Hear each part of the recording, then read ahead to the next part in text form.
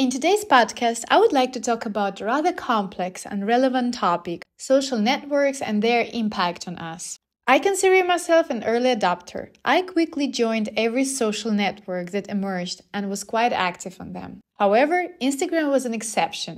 I only registered there in 2016 when I finally had a reasonably decent phone, and I was already 26 at that time. Once upon a time, the appearance of social networks for people of my generation seemed like magic. A unique opportunity to share what's happening in your life and instantly receive reactions from friends who are quite away. There was a lot of positivity and joy in that. And looking back, I wonder where it all went, why social networks now associate with negativity for me. And what's truly phenomenal is that it didn't take long for everything to change. I've had moments of quitting social networks, completely deleting my Instagram account, reducing my content consumption. I began consciously questioning why I need this unnecessary information from people I don't even know. I hardly scroll through my Instagram feed or watch reels anymore. Yes, I'm still seduced by shorts on YouTube, and I'm working on that. As for TikTok, I'm only following useful accounts like marketers, psychologists, alcohol recovery coaches, and so on, in educational content, so to speak, that doesn't lead to endless scrolling. I also enjoy reading Telegram. There are many useful channels there, and of course, podcasts. I discovered podcasts back when Joe Rogan was recording for YouTube. Two years ago, I found podcasts on Google, and now I'm recording my own podcast. Nevertheless, I still believe there are numerous advantages to social networks, especially when you're an immigrant living in a foreign country with many friends and acquaintances living far away from you. In any case, it's better than the times when we could only make a city phone call once a month. Now, let's talk about the downsides. Regarding Instagram, I'd like to add that there is hardly anything left to scroll through there. It's impossible to configure your feed to see what your friends are posting. You'll only see recommendations. You need to enable notifications just to see what my friends are posting. It seems like there is just too much forced content. You don't get to choose what content to consume, it's forcibly pushed onto you. So, in order to view posts from people who genuinely interest me now, I have to enter their usernames in the search bar, and only then I can see and like their posts. Otherwise, my feed gets flooded with useless reels and photos from people I have no interest in. It feels like being pushed into a metro train in Japan.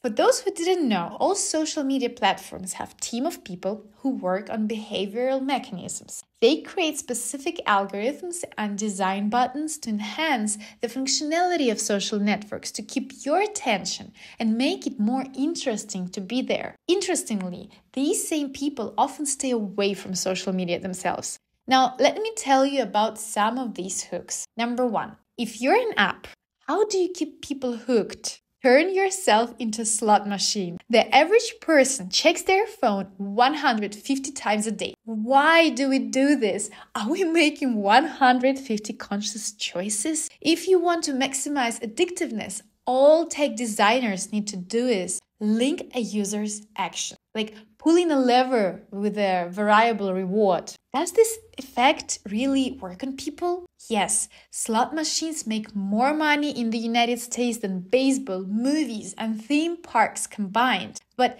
here's the unfortunate truth. Several billion people have a slot machine in their pocket. When we pull our phone out of our pocket, we are playing a slot machine to see what notifications we got. When we pull to refresh our email, we are playing a slot machine to see what new email we got. When we swipe down our finger to scroll the Instagram feed, we are playing a slot machine to see what photo comes next. When we swipe faces left, right on dating apps like Tinder, we are playing a slot machine to see if we get a match. Hook number two fear of missing something important. Now, the way apps and websites hijack people's minds are by inducing a 1% chance you could be missing something important. If I convince you that I'm a channel for important information, messages, friendships, or potential sexual opportunities, it will be hard for you to turn me off, unsubscribe, or remove your account because, aha, I win, you might miss something important. This keeps us subscribed to newsletters even after they haven't delivered recent benefits. What if I miss a future announcement? This keeps us friended to people with whom we haven't spoken in ages. What if I miss something important from them? This keeps us vibing faces on dating apps even when we haven't even met up with anyone in a while. What if I miss that one hot match who likes me? This keeps us using social media. What if I miss that important news story or fall behind what my friends are talking about? But if we zoom into that fear, we will discover that it's unbounded. We will always miss something important any point when we stop using something. But living moment to moment with the fear of missing something isn't how we are built to live. Hook number three social approval hook. We are all vulnerable to social approval. The need to belong, to be approved or appreciated by our peers is among the highest human motivations. But now our social approval is in the hands of tech companies. Mm, when a friend, in this case Mark, takes you in a photo, you might assume that he made a conscious choice to do so.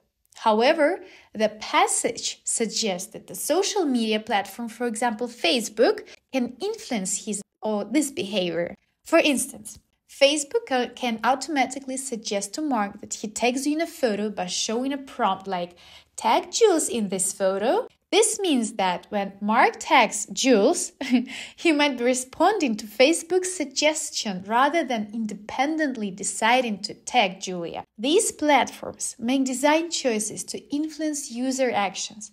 For example, when you change your profile picture, it's a moment when you might be seeking social approval, wondering what your friends think about your new photo. Facebook can use its algorithms to rank such updates higher in your newsfeed, ensuring that they stay visible for a longer time. This in turn encourages more friends to like or comment on your new profile picture, keeping you engaged and coming back to the platform. By manipulating these interactions, Facebook and similar platforms can control the multiplier effect for how often millions of people receive social approval from their friends.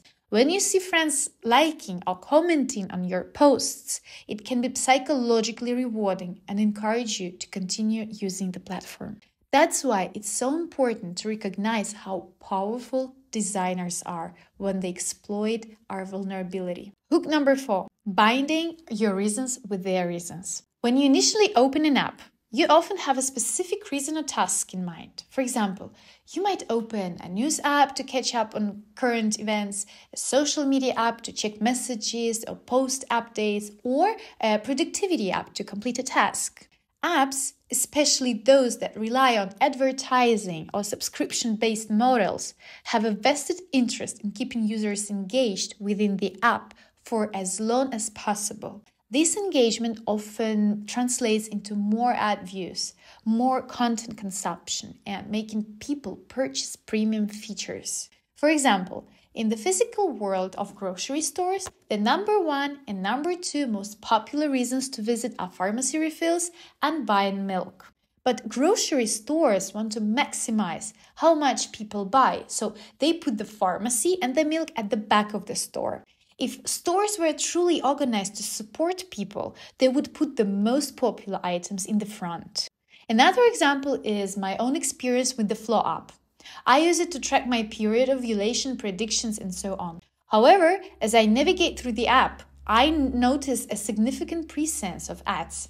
At the bottom of the screen, a persistent banner ad takes up valuable screen space. This ad can be skipped, but it disrupts my experience. I initially opened the app with a specific goal in mind tracking my menstrual cycle. However, the abundance of ads makes it challenging to concentrate on my primary task. In such scenarios, users often consider purchasing a premium version of the app or exploring ad free alternatives to regain a more focused and ad free experience while using the app. Are you upset that technology hijacks you? I am too. I've listed a few techniques, but there are literally thousands. Imagine whole bookshelves, seminars, workshops, and trainings that teach aspiring tech interpreters techniques like these. Imagine hundreds of engineers whose job every day is to invent new ways to keep you hooked. By the way, I've just completely turned off all notifications for likes, follows, and so on. I don't understand why I didn't do it earlier. When I realized that scrolling through my Instagram or TikTok feed was neither relaxation nor beneficial for me, I decided to stop and started my own TikTok blog for others to scroll through. The more you succumb to social media with all notifications turned on, the more frequently you refresh your feed, and the fear of missing out grows the harder it becomes to focus on important work. Of course, it's easier, more fun, and more dopamine inducing for your brain to swipe through the feed because our brains love comfort. If you were looking for an answer to how to stop procrastinating, I'll give you an answer. Reduce your use of social media. If not 100%, then limit yourself and minimize the amount of time you spend there. I don't want you to consider this podcast as hatred towards social media. No, not at all. I love social media and I enjoy evolving within them. I think the problem with social media arises when we don't even realize what we are consuming, when we simply allow information to enter us without filtering it. For example, I watch a lot of YouTube. You can find information about everything there how to edit videos on Premiere Pro, numerous videos for home workouts, how to advertise on Instagram, how to combat a bad mood. Even on Instagram, if you look, there are accounts that inspire me for new videos of photos. It's essential to understand whether social media sets you on a positive note, gives you a kick to start working, inspires you, uplifts you, provides new ideas, or whether you just wasted 15 minutes of your time in vain. Unfortunately, most people live on autopilot. And social media now play a very unfair game. They don't protect the consumer. They scan your phone thoroughly, what articles you read, what you like, and what you scroll through. The most frustrating part is when I see a person with whom I haven't had much interaction and then I see them everywhere in my recommendations. What's also annoying about social media is that there are so many unnecessary features. You're trying to find the function you need, but you get lost in a sea of unnecessary functions. My mom constantly complains about Facebook and Instagram, so she doesn't even follow my content because she simply doesn't want to deal with all these features. It frustrates her. It's impossible to set any function in these social networks to use them with pleasure or even without irritation. I also want to discuss the issue of comparing oneself to others on social media, where you feel like your life isn't as beautiful as what you see on other people's Instagram pictures. Oh, that's my sensitive spot, and I want to shout about it. Recently, I've become more active on social media and I consider myself a blogger. I always believed that I needed social media for self promotion. If I'm not on social media, how will I share my ideas? After all, a blogger is supposed to be on social media. As I mentioned earlier, there are profiles that motivate and inspire me, giving me new ideas. And there are profiles that demotivate me, making me feel a loser, uh, like my life isn't worthy. So, the first thing I did to stop comparing myself to others and underestimating my own life was to reassure myself that I don't really know what's happening in other people's lives in reality. Because it got to the point where I engaged in self destructive behavior and undermined my own significance. Of course, everyone posts only the best things happening to them, nothing bad. When you realize this, it becomes easier to accept your own life. Furthermore, if I visit a blogger's profile and see that they have more subscribers, views, likes, and in general their life seems to be a fairy tale, I start envying them unintentionally. In such cases, I either unfollow that person or mute their stories and posts. I don't encourage myself to follow such people, and as long as I follow these rules, I feel less anxious and avoid comparing myself to others. I also don't try to portray myself and my life as better than they are. In my posts, I write about depressive episodes, fears, failures, and experiences. Of course, I don't only write about the negatives because that would also demotivate people instead of inspiring them to strive for something good. Because if I start showing and writing only about the happy moments in my life, the gap between my real life and what I post would become so enormous that I would start disliking myself. Therefore, I often showcase on social media those things that I'm af- often afraid to show, especially when I feel very vulnerable. Now, let's summarize. Lately, my principles have become very clear. social media has started to negatively affect me personally. They distract me from work, don't allow for proper relaxation, and scrolling is not relaxation, it's more like a guilty pleasure. Recently, in moments when I need to focus, whether it's studying Spanish, writing posts for Instagram, or scripts for podcasts, I simply switch my phone to airplane mode and take it to another room, limiting myself to the maximum. Right before your eyes today, I even turned off yet another seemingly important notification for likes and follows on Instagram. I hope this podcast has been useful and motivating for you to also turn off notifications or put your phone away to be more productive.